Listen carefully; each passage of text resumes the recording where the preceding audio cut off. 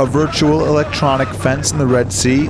new fortified military positions, and a significant increase in the number of IDF units along Israel's border with Egypt are some of the changes that have taken place in recent months amid concerns over the growing terrorist presence in the Sinai Peninsula. On Thursday, the Jerusalem Post toured the border with officers from the IDF's 80th Division